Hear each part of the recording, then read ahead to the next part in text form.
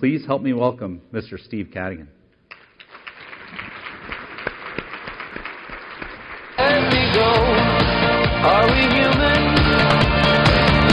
Or are we dancers? My side is vital. Put your seat tables in the upright position and buckle up. I did not come from Silicon Valley to bore you. Are you ready? Okay, okay, let's bring it home. Let's bring it home strong. Uh, as Eric mentioned, I get a chance to work with leaders all over the world, every region of the world, every industry, uh, companies of all sizes and all stages. Last week I had four interesting conversations I want to share with you because it sets the tone for the, the, the conversation I have very frequently with leaders today, which usually ends with, say what? Four companies said, Steve, we got a big problem. Can't hire the people I need fast enough. Can't keep the people I want long enough. My next question is okay, that's your biggest problem. How's your business doing right now? Yeah, we're doing really good. Growing that market share. Revenue's up. I go, so what's the problem? But we measured ourselves by being able to be more effective over time because we think retaining people is the way to go.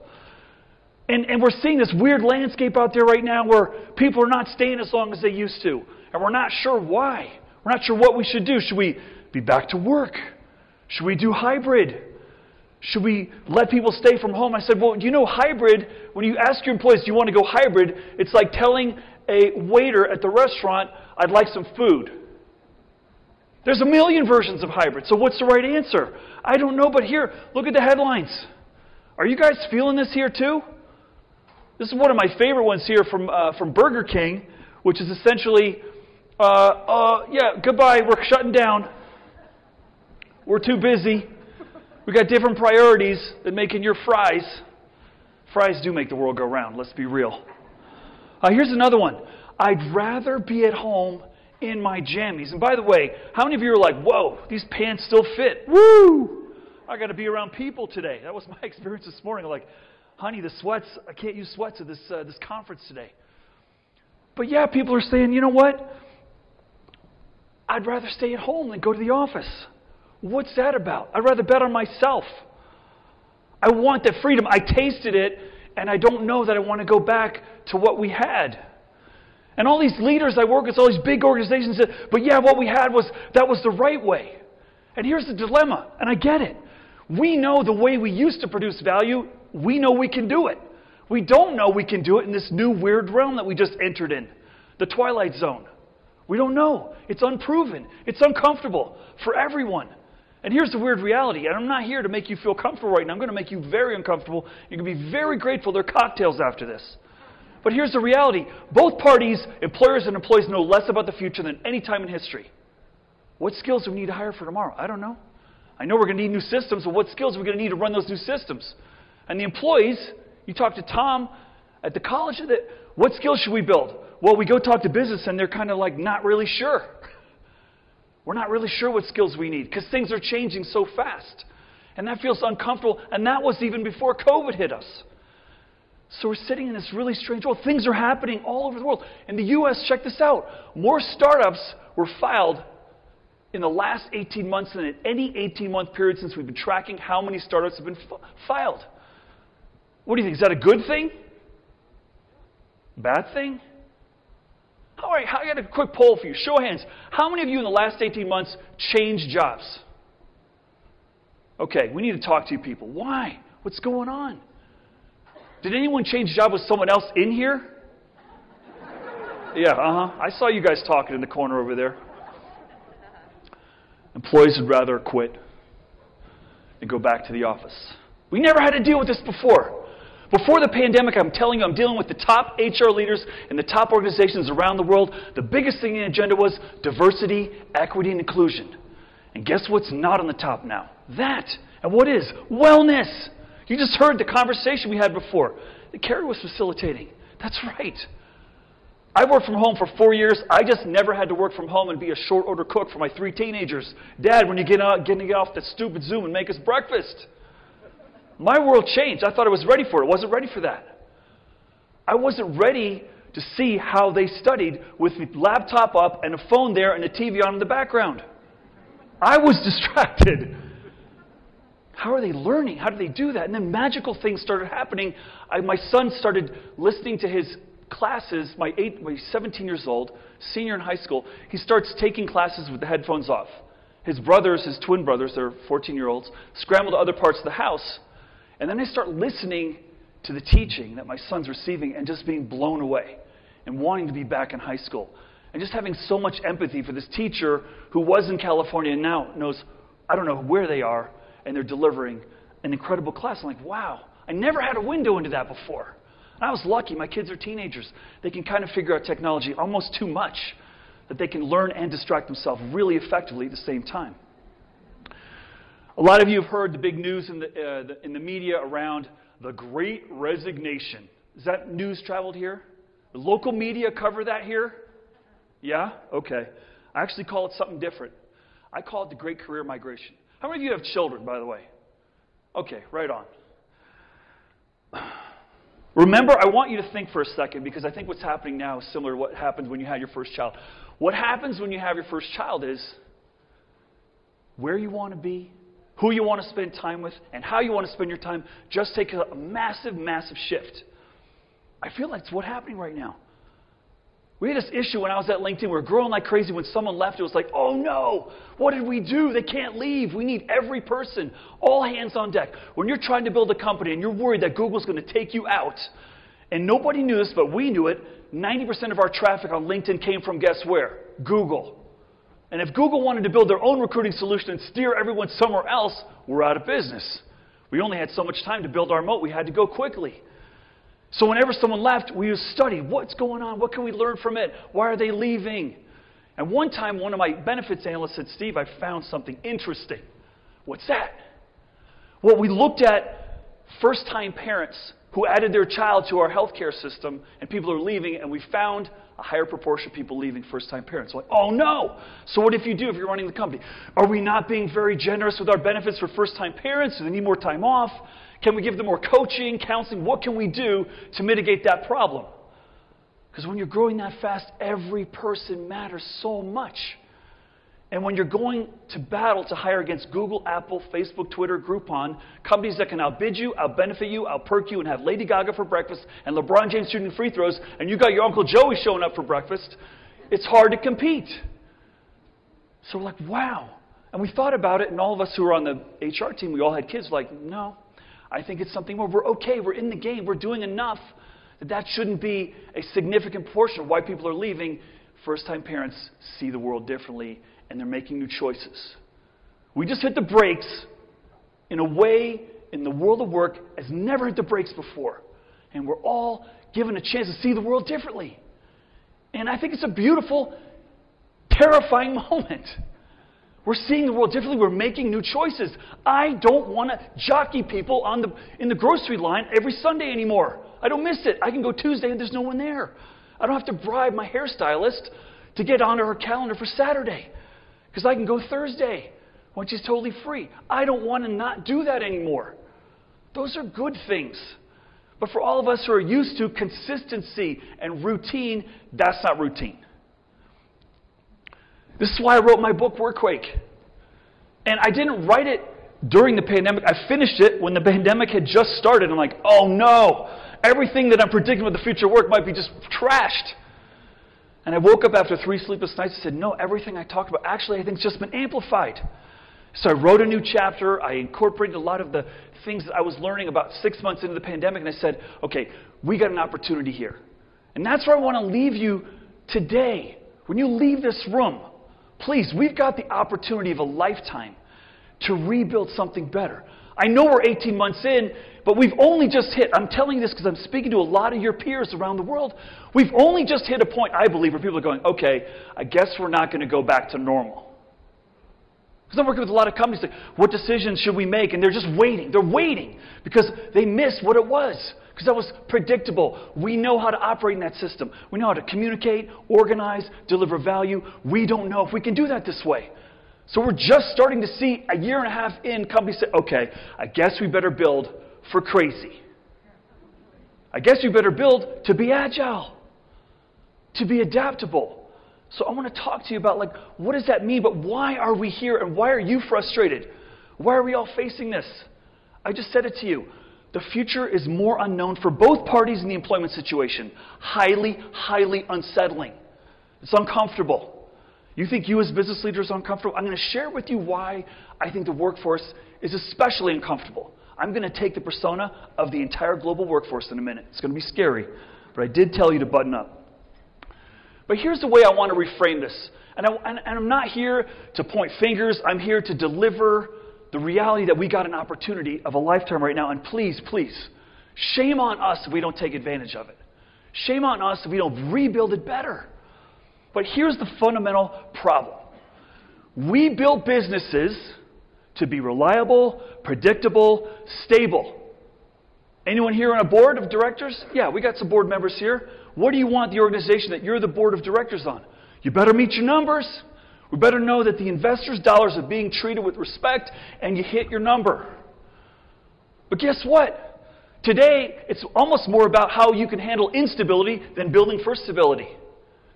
Keeping people for a long time. I'm going to show you some data in a minute. I think we're going to start to see the world of work doesn't want to be in one place as much as they used to. And I explain to you why I think that is. But this is the fundamental problem. Okay, how many of you read this book, Built to Last? The number one all time selling business book. With your help, I'm pretty sure that we can unseat this book, okay? Best book on leadership ever built. Collins and Porras, the whole theme of this book is to build a 100 year company, you got to teach people how to fish. Woke up this morning, opened the blinds of my room, there's a fly fisherman right there. Fly fisher woman. It was awesome. How many companies do you know building for 100 years right now? In America today, in the world at large, how many companies, when you think about it, don't yell it out, but how, are you pretty sure you got a big list of companies? Oh, yeah, they're definitely building for 100 years.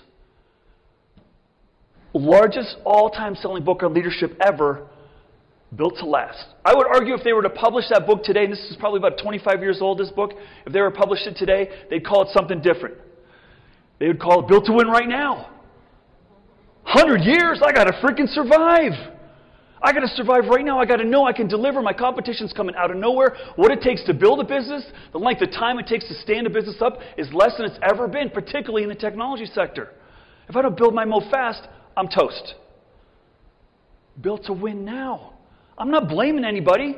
When people say, oh, well, geez, uh, leaders don't know what they're doing today. I said, well, we're not investing in leadership because we're just trying to survive. I live in the world of Silicon Valley. I'm not here to tell you everything in Silicon Valley is wonderful. There's a lot of broken stuff. One of the biggest broken things is we don't invest in leadership. Why? Because most people build a company to get an exit in 12 years. I'll move on to the next thing. Why would I invest in leadership? I'm not going to be around in 100 years. I'm going to get mine and I'm going to move on. This is kind of world we created for ourselves right now. Instant gratification, instant success, and it's possible. Right? It's possible. So we have got a massive leadership deficit. Great conversation over beers. We can have it later when I'm with my friends in Silicon Valley. Like, what company is developing the best leaders in American business right now?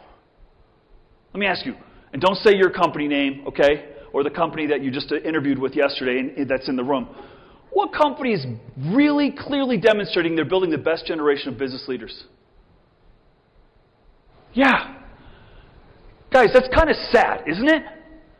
Isn't it kind of sad that we've got to have a conference called Rehumanizing the Workforce? Like, I read an article a few years ago. Yeah, uh, the human employees. I'm like, wait a second. What do we categorize employees as human? When did the other categories show up? We created this artificial intelligence. We're doing this. That's kind of sad that we're here. But I, I, I want to sort of help you understand this is the world that the, the workforce is seeing right now. This is the world that we're creating. So let's get into some data. We got people like data in here. I love data. But I'm an HR person, so I like feelings more than data. That's why in my Myers Briggs says I'm an ENFP, but it wouldn't take a genius to figure that out. Um, and by the way, I just have to tell you, I have been locked up like a caged animal in extrovert hell. Thank you for inviting me here to be with all of you today. This is so great. I'm like, I told my wife this like I couldn't sleep last night. I was so jacked up. I'm going to see people. This is what I live for. I love to teach these moments, so I wrote the book so I can get to teach more. All right, so Gallup organization, employee engagement. You guys care about engagement in your organizations? Okay. Well, they run the tables on measuring engagement. What they're telling us is, since they've been publishing this since the year 2000, what's been rising is active disengagement, not engagement. Do you know what the all time high level engagement is in the United States of America? Ready for this proud moment? 30%. That's a crisis. But we kind of, oh, we're just so immune to it. Oh, yeah, ozone's depleting, engagement 30%, whatever. Yeah, active disengagement is rising. So this doesn't make sense to me. And follow my logic here. Would you agree that candidates have more information to make more intelligent choices where they work today than at any time in history? Agree? Okay, I'm, I'm good at leading the witness, right? Okay, would you also agree y'all have more information to make an intelligent hire? LinkedIn, backdoor references, finding people that you know have can give you some feedback that wasn't on their reference list than at any time in history. Agree? Okay, so in theory, we should have the most intelligent hiring choices by both parties ever. Why is people so unhappy? They got the best information to make the best choices than ever. This is what got under my craw last 10, 15 years. Like, this shouldn't be happening. I'm sitting at LinkedIn going, wait, we've got all this great data. People can see what they can do with their backgrounds more than ever before. They can see what jobs are open more than ever before. They can find out what the culture is like, the comp strategy, the leadership style. And in public companies, what officers are dumping their shares, what officers are buying their shares. We can be smart. Why is everyone so unhappy? And worse, why is everyone leaving? Check it out. Bureau, U.S. Bureau of Labor Statistics. Okay, not the finest institution of high quality data, but it's the best we got. And I'm sitting there poking holes in their data, like, so tell me, um, this is the workforce? Yeah. Uh, are gig workers in here? No. Well, they're about arguably anywhere from 20 to 40% of the workforce right now. No. We just look at payroll data. Okay, so in the last six, seven years, it's gone from about five to about four. All right, that's not earth shattering. So let's break down the demographics. Really important, probably your most important employees, those of us over 50. We stick around, we're loyal, we know how to deliver. We're also highly risk averse because we have things like mortgages, tuition expenses, and it's not as easy for us to change jobs. And we probably specialize at some point in our career, and it's not as easy for us to move around. Okay, I'm going to put up age 25 to 35. What number is going to be there? Two years? What else? Two weeks? Yeah, I hired that person too. Yep. Yep. 2.8 years. What? You're leaving? We just finished your new hire orientation. Did someone hit you in the parking lot? That's the median, by the way. That's the median. In Silicon Valley, there's no 10 year service dinner with the CEO and the executive chairman, like 10 months, you're still here? Oh my God, thank you. Thank you for staying with us. 2.8 years, like, I've been recruiting for 35 years. When I started in 1987 recruiting, the biggest strategic advantage was stealing the phone book of your competitor. Because that showed me the name and the title. Not joking, that's what we tried to do. Not steal, but, you know, just happened to see it on the table when I was visiting. So I used to ask people, five years? You left? Kind of a short timer, huh? Fast forward to today. Five years, you're still there. You're not really challenging yourself, are you? What happened? The stigma of movement is diminished. But why are people leaving to have more, you know, you can make more intelligent choices. Something's going on. And by the way, guess what? Let me ask you if you disagree with this. Does anyone think this trend is going to change? Oh, we're just in a blip right now, Steve. A couple years from now, definitely people are going to stay longer. Does anyone think it's going to change? No. We all agree it's going to shrink. So why is every one of your benefits driven to keep people longer? I don't know. Because we're not ready to accept this yet. That's why. No one thinks it's going to change. When I'm in, I was in Spain two weeks before the pandemic, had a little bit of sniffles. I don't know. I don't think it was COVID, but I wasn't feeling so well. 25 of the top leaders in Spain. This data look right to you? Yeah, it's U.S. data. It trends similarly in Spain. Why is that happening? You know what I heard? What I hear in every part of it millennials. Short attention span. Career sugar high, shopping for promotion, disloyal. My response is your children? Those millennials? The ones you raised? But then I start saying, step back for a second. This is a really important point. I want to land it well. 40 years ago, Mrs. Executive, if you were starting your company and you could see what the world can see today, infinite choice, infinite possibilities of what you can do with your background, you're telling me you're still going to be in the same company 40 years later? Mm-mm. We've created a transparency to opportunity and a transparency to different pathways that never existed before, and we're now is our moment of reconciliation. Now we got to figure out what that means. We built more choice. We all want more choice. That's a good thing. You want more choice for your children, for yourselves. You want more optionality. Of course you do. But let's not blame people when they have more choice for acting on the choice. Right? That's what I say. Ah, oh, just train that person for six months and they're leaving. Yeah, but you just agreed with me five minutes ago, they're going to leave faster. So what are you doing to build to optimize for that? What do you build? Are you building your business to accept that they're going to leave? To accept that you're part of their journey? I don't know. So let me give you another perspective. This is how I think candidates see the world. Let's call them early in career, in school or out of school about five years. They're seeing a bunch of new industries hit the street. We call them unicorns. Uh, some, most of these companies are less than um, five years old, but let's see if we can advance the slide here and take a look. Okay.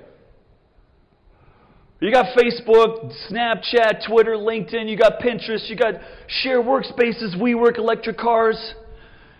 Well, what, what industry should I work in? What, what industry is the right one? All these companies, like on the inner two parts of Circle, less than 25 years old. What? Uh, should I go work with those because they've disrupted other businesses? Oh, but what happened to the number one all time most revered company in American business history, General Electric? Anyone, uh, an investor still in GE? Hope not. Hope not. If you are, I hope you got the discounted ticket getting in here because in the last 20 years, GE's lost 20 trillion dollars of market cap. That's right, faceplant, belly flop, most revered leadership team in history, Jack Welch, Crotonville, oh my God, every business book written in the 80s about American business, GE. Faceplant. What? I thought that was a good place for me to go. Uh oh, uh oh. Confusion at a minimum, right? Where should I go? What should I do? What's safe? What if I make the wrong choice? Here's the, here's the challenge. I think increased visibility to opportunity and choice is a problem. It's a benefit, it's also a big problem. Anyone here in sales? Okay.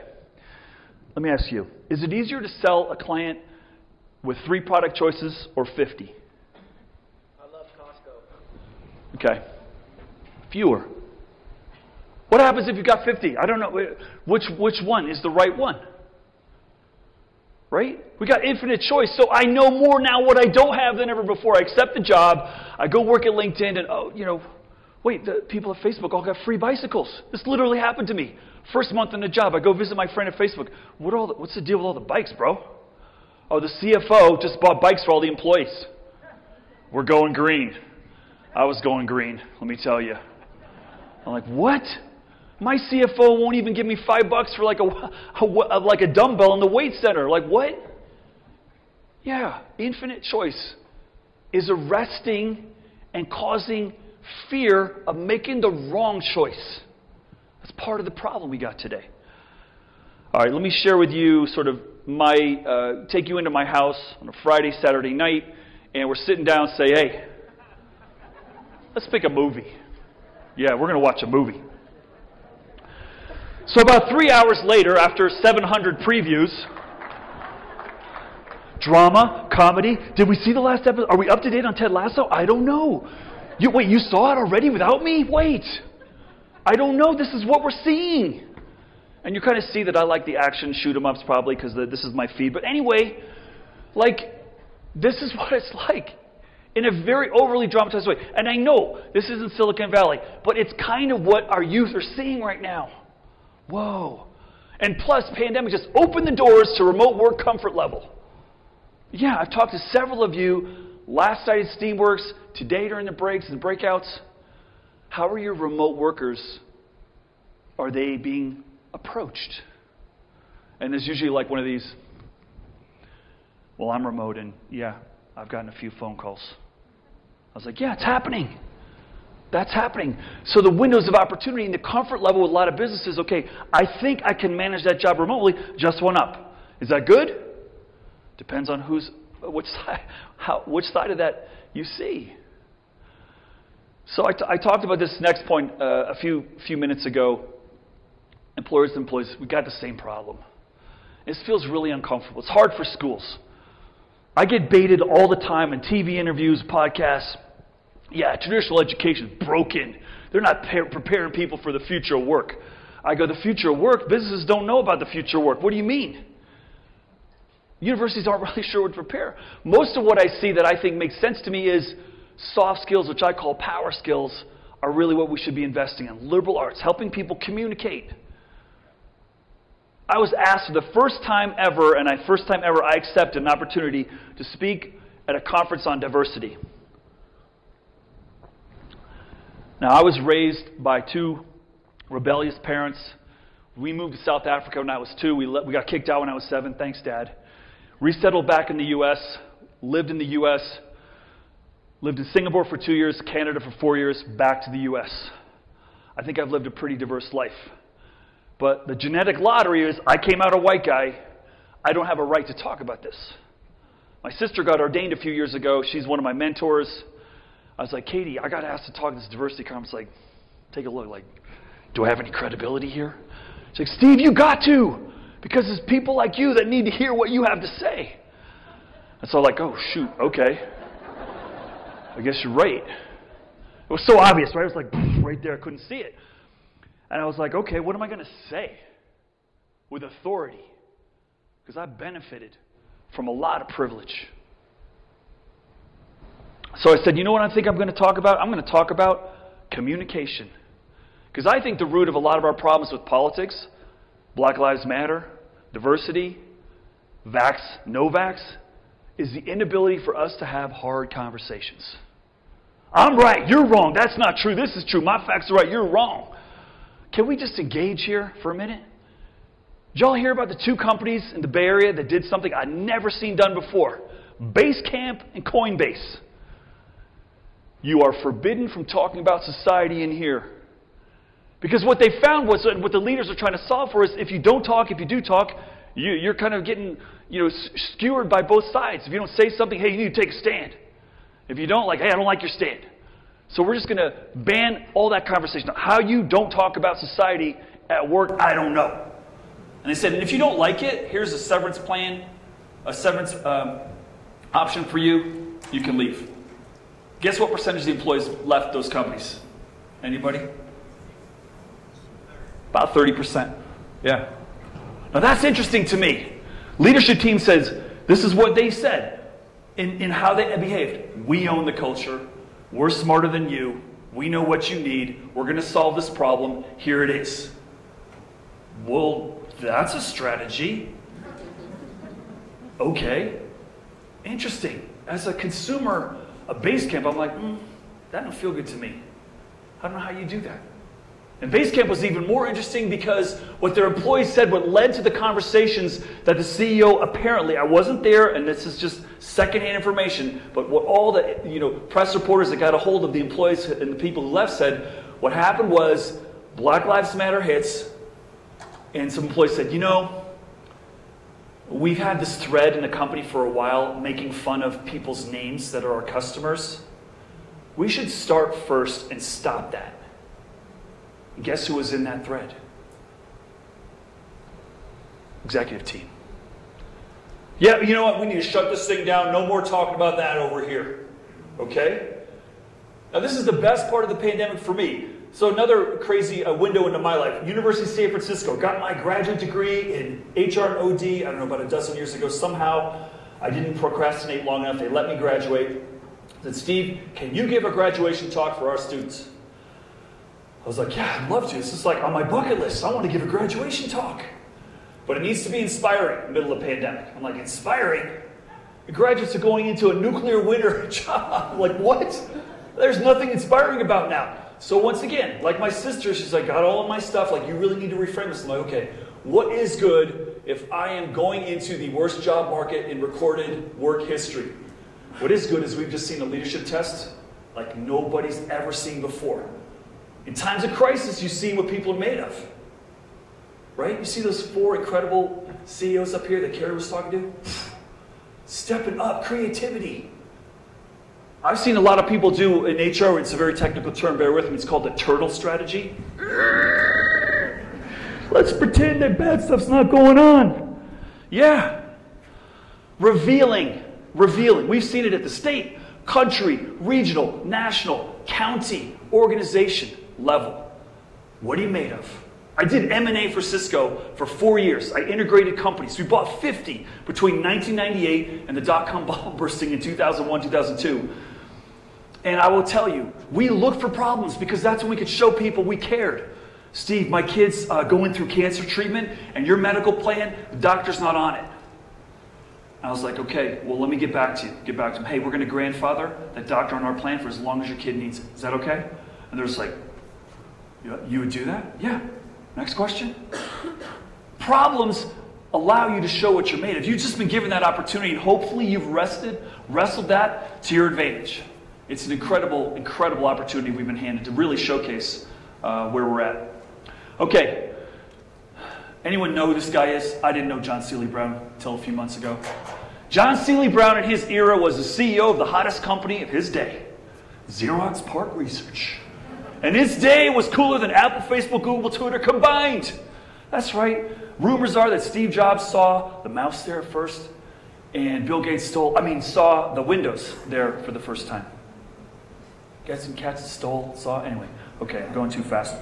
Um, he's dedicated the last 20 years of his life to think about the future of education. This is what he says. And this is another unsatisfying, uncomfortable wait. That's not what you told us it was going to be like, Steve. I want to go to school, learn my craft, and ride it for the rest of my career. Yes, sorry, it's going to last you about five, ten years max. You, my friend, need to be a lifelong learner. I hate that word. Is it two or one? Lifelong learner. Two words. What? I gotta, yeah, I gotta do that. Why? Because business is changing. Your job's changing. Anyone here in recruiting? Okay, what's the shelf life of a job description today? How much, how long after you write that is it accurate? A couple of weeks? a week? Yeah. Think about that for a second. We're writing job descriptions, and they've got a shelf life of about a week. We're to come back to that in a minute. Okay, I've spent the last 15 years of my life. I left LinkedIn about 10 years ago just thinking about, obsessing about all this stuff. Like, what? What's going on? I haven't got to the pandemic mostly yet. And I got to tell you, the future work is the worst marketing campaign in history. We are scaring the bejesus out of workers. Half the jobs tomorrow don't even exist today.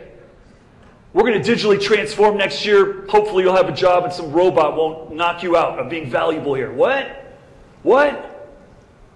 Yeah, in 10 years, you're probably going to have six jobs at the same time. What? What?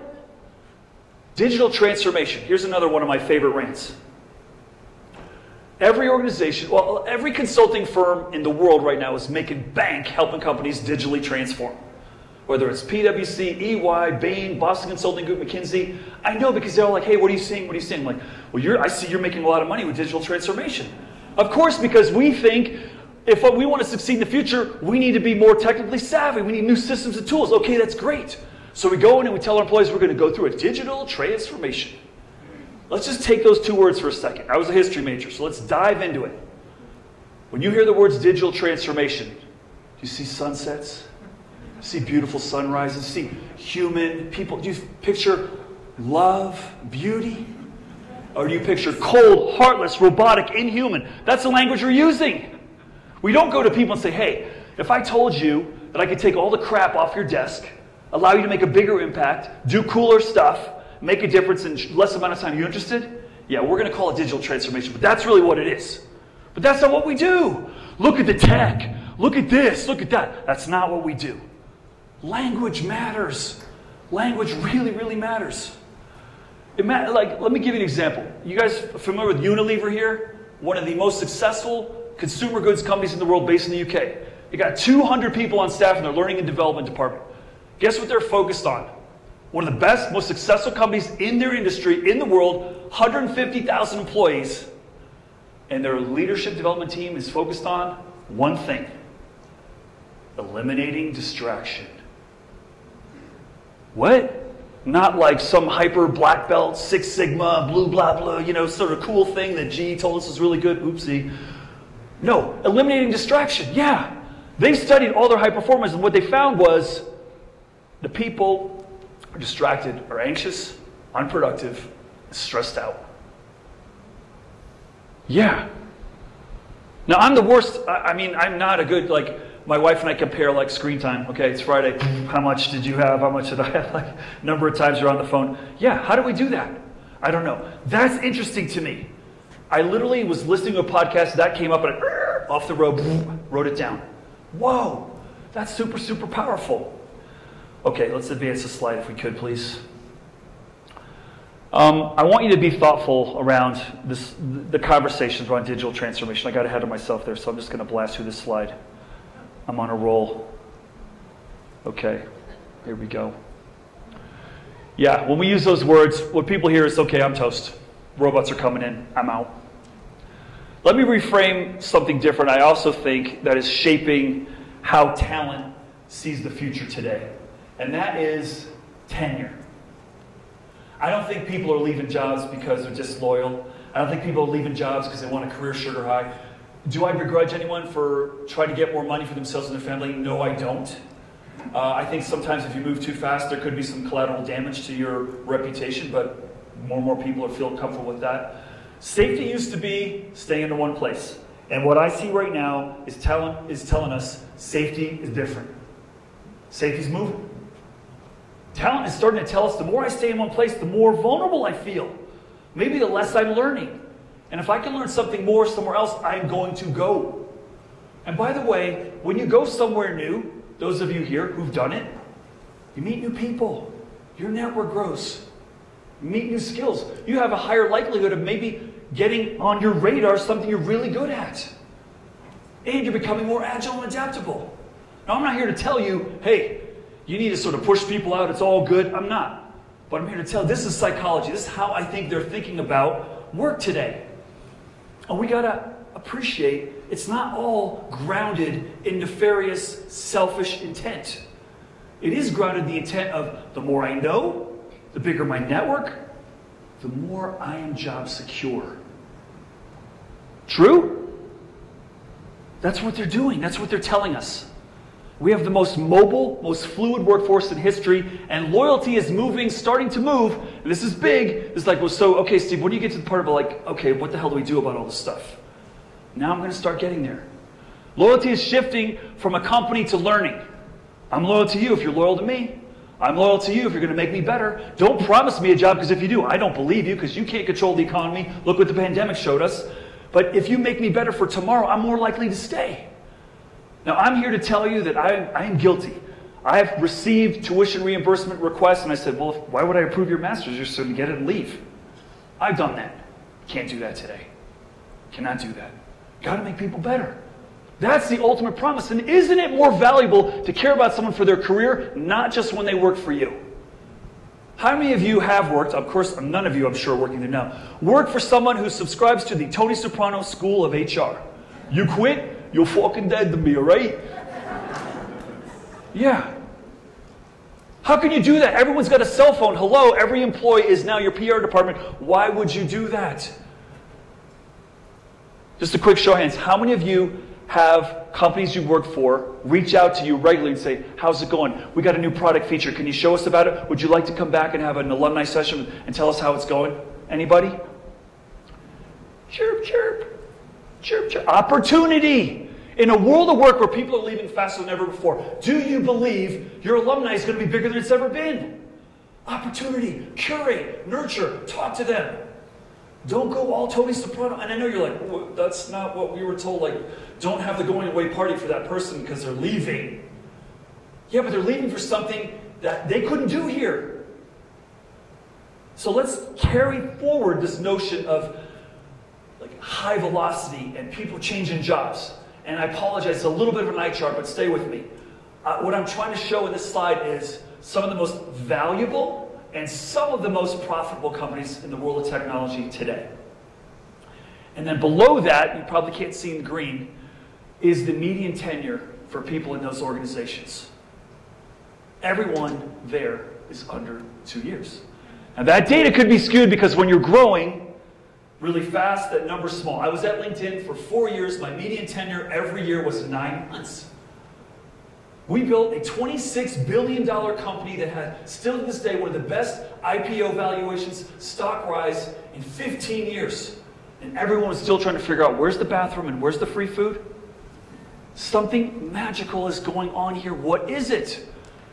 I have a hunch, and this is probably the beginning, and I was testing it on a few people at, at certain breaks.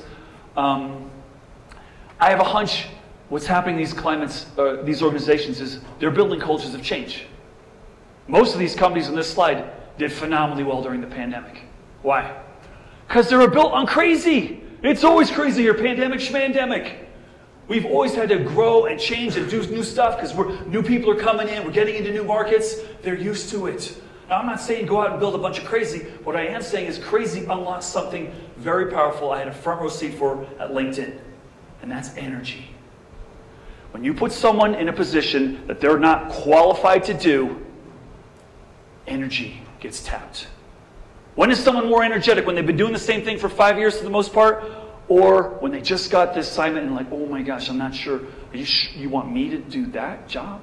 Like, I don't have experience. Happened to me twice. I was not qualified to go to Cisco and do mergers and acquisitions. I never worked on a merger and acquisition my entire life. I'm like, are you sure? Like, yeah, you're a little bit crazy. I'm like, yeah, you're right. I love it. And I love building stability out of crazy. Just like, I'm not saying this is right for you. I'm not saying it's right for every industry. I'm not saying it's right for your business. So let's go to one that's been around a long time automobiles. What's the most valuable company up here? More than Ford, Toyota, Honda combined. Yeah, how long have they been around? What were they? Did they founded yesterday? People were there 2.3 years. What's going on? Why do investors think they're more valuable? They're not making more money. They're not producing more cars. They got kind of a nutty CEO. And that's an understatement of the day. what is going on here? Why are investors voting on them? What do they think Tesla can do that these others can't? Create, innovate. They're not a car company, they're an energy company. Maybe they're a future transportation company. I don't know, maybe they're a solar roof company. They're innovating. That's where the bet's going. But here, all these other companies, oh no, you got to be here. We can't listen to you in our meetings until you've been here 10 years. Yeah. Did they hire anyone from the automobile industry when they got started? Mm-mm. They didn't. Okay, so in this messy world of work, when I show you the corporate profits for the last X some on decades, what do you think you're going to see? Disengaged people, job unhappy people, people moving around, a little bit crazy. What's, ha- what's, what's happening with our profits? What do you think?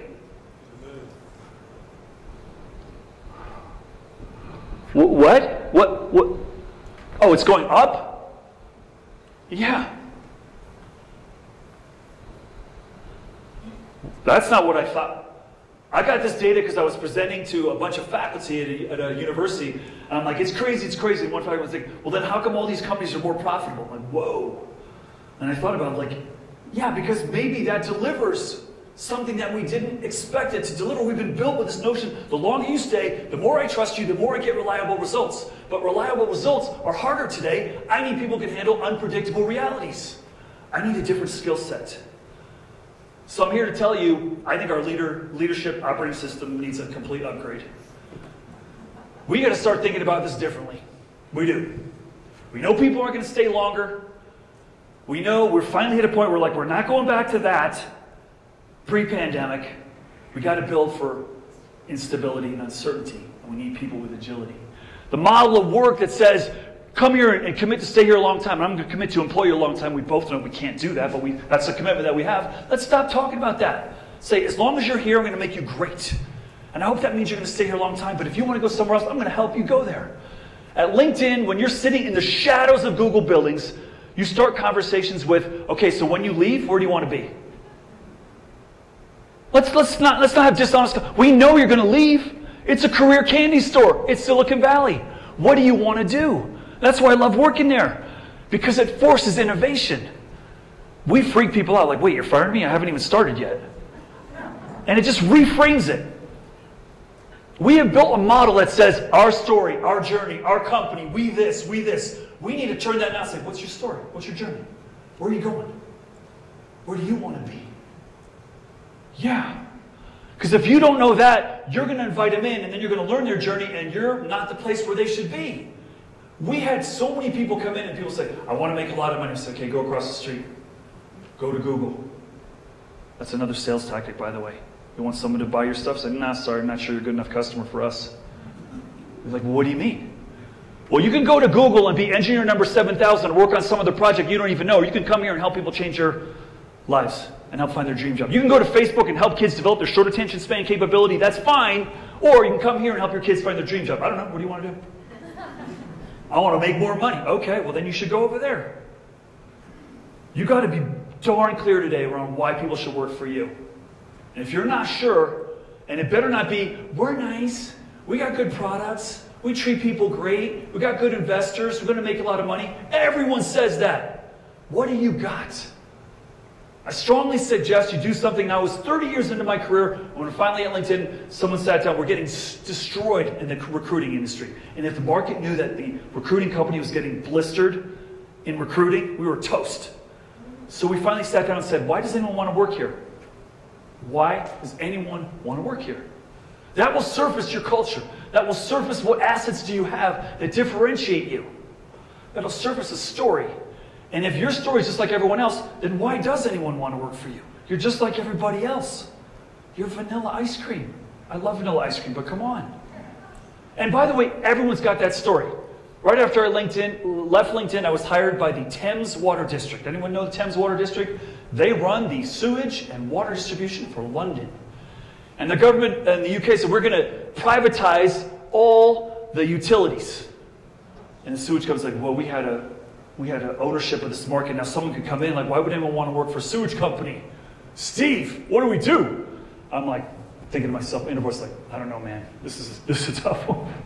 So we get the marketing team in, and we say, hey, what are you guys in the business of? We're, we're making the world safe for everybody. That's what we're in the business of, not sewage. I was like, recruiting team, you good with that? Yeah. Can you run with that? Yeah. We're making the world safe. We're not a sewage company. We're making clean stuff for our kids and our family. All right, just another couple of slides here, and then if we got time, I'd like to take some of your questions. But, all right, kind of a loaded question. Hopefully, people will answer this accurately. When you think of the United States and technology and innovation, what part of the world comes to mind? What part of the country? Anybody? What? Silicon Valley. Okay. Silicon Valley also happens to be the part of this country that has the highest turnover. Huh? What's going on? Are they just smarter than the rest of us? Ideas are moving. That's what's going on. There's a woman named Annalise Saxenian. She's a professor at Berkeley. She wrote an incredible book. It's about 20 years old. It's awesome. When I interviewed with Reid Hoffman, the chairman and founder of LinkedIn, the first billionaire in my network, uh, I think he's the only billionaire in my LinkedIn network. He's like, Steve, you got to read this book. I think you're going to love it. What is it? It's a study of why Silicon Valley beat the East Coast of the United States when the East Coast had DEC, Wang, Harvard, and MIT. And the West Coast had Berkeley, Stanford, and Fairchild Semiconductor. what happened? People started moving around on the West Coast and bringing their ideas with them. People on the East Coast like, whoa, whoa, whoa, that's my idea. You won't be bringing that idea over there. You might steal my idea. I'm from the East Coast. We're territorial. Uh-uh. West Coast ideas flying around, boom, boom, boom. Ideas getting better. Idea trumps ownership of idea. That's what's going on there. It's not an accident. They have high turnover and high creativity. Ideas are flying around. I know if there are IP lawyers in here, their heads are exploding. No, no, this is bad. NDA signatures, no, no. All right, so just a couple things to try to help explain where we're at. Right? You saw earlier, Corey's like, we're that little dot. Okay? I get asked all the time, Steve, what should we do? Back to work. Stay here. Hybrid. And I'm like, well, I'm going to tell you something.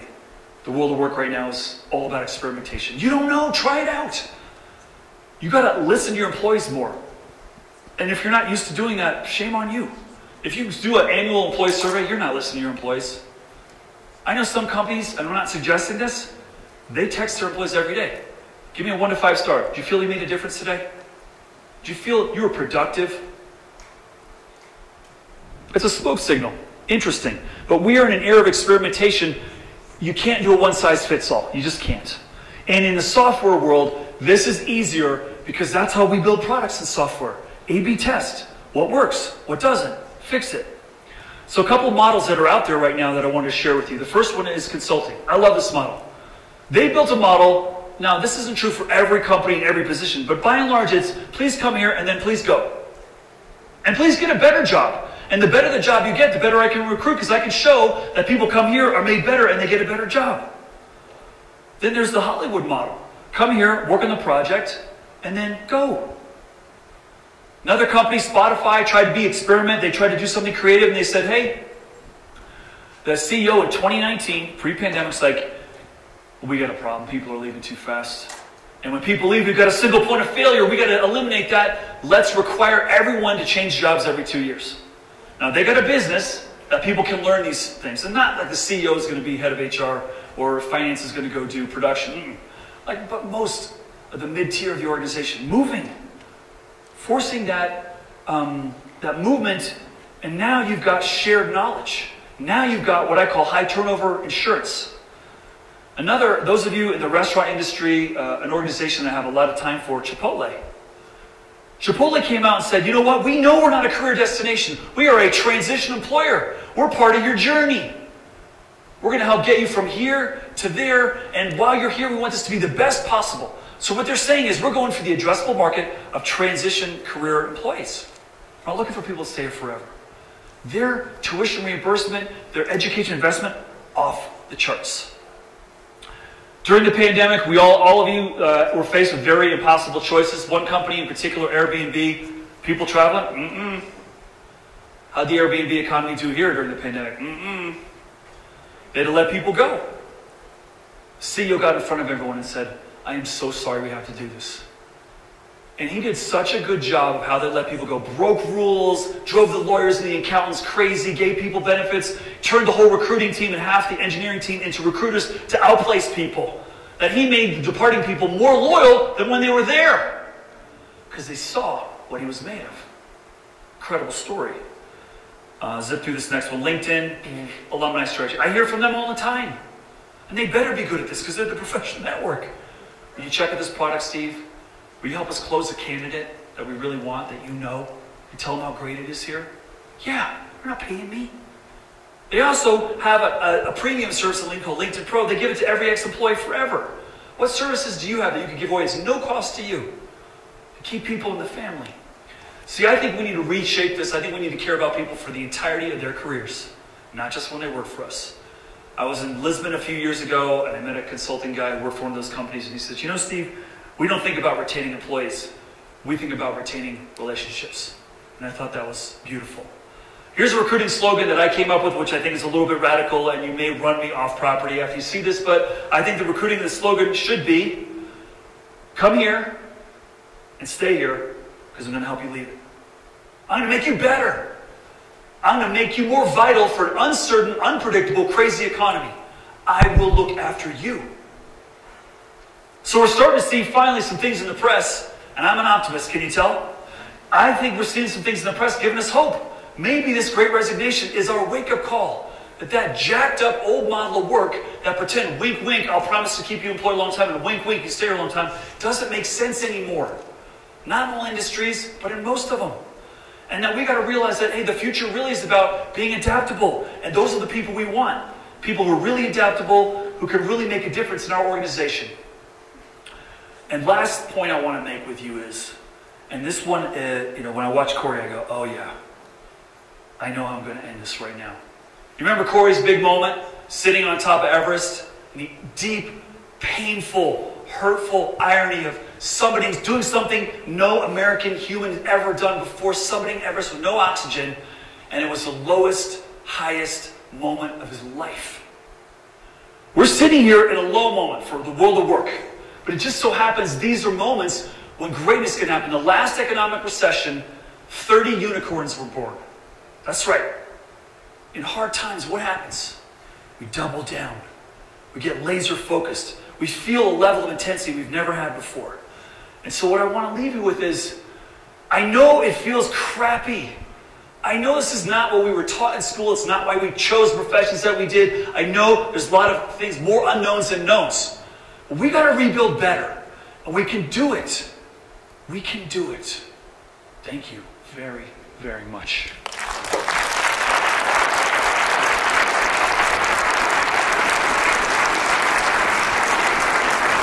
Mike, how are we doing on time? Do we have some time for some questions? Or are we two two questions? Two really, really good questions?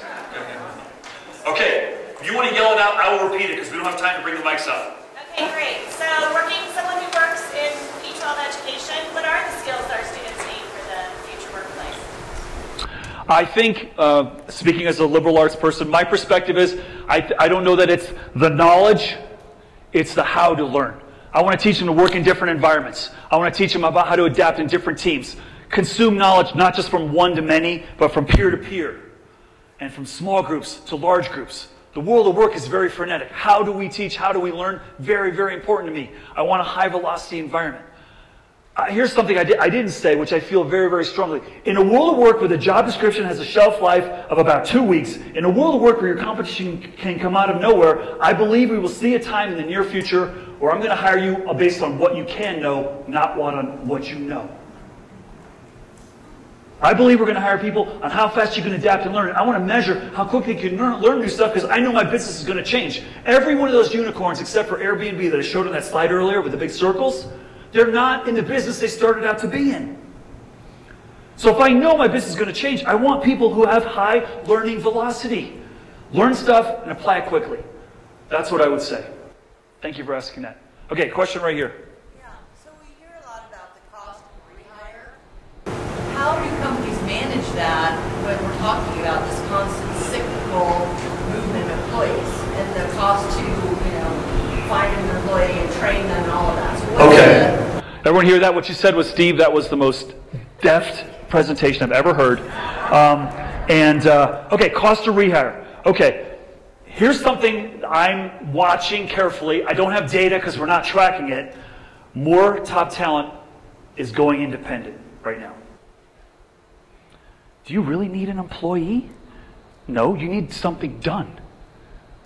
Right? You need to create value. You sure you need an employee? Well, Steve, we can't have a bunch of mercenaries. What about our culture? What about our culture when we don't have people to do work and everyone's working extra hours? Right? That's a culture kryptonite moment right there. So I do think that there, there's no perfect answer. I don't know what business you're in. I don't know the velocity. I mean, if, if we're running a cancer unit, I want continuity, right? If I'm sending someone to the moon, unless it's Elon's rockets, if I'm sending someone to the moon, I want to know the team's there because lives are on the line, right? So what can I do? But we thought employee. There are more, I think, highly talented people saying, I want to own my freedom and independence. The reason that number's not bigger is because we have jacked up health insurance in this country. I'm in an independent 10 years. You know how much I have to pay for health insurance? If I can find it. Like, Steve, we need a letter from your last employer. I haven't had a last employer. What are you talking about? Try to refinance, try to get a mortgage. So legislation is going to catch up. What the pandemic's done for some really cool destinations around the world. I was talking to this guy in Greece. Greece legislature just passed a law that said, you come and work there, you don't have to pay taxes here for a few years. Portugal did the same thing. Like this pressure for talent, I think is going to drive legislation, hopefully facilitate that. But I would say reframe the problem. I need to get work done. I'm assuming I need employees. Maybe I don't. Right? Okay, thank you very, very, very much.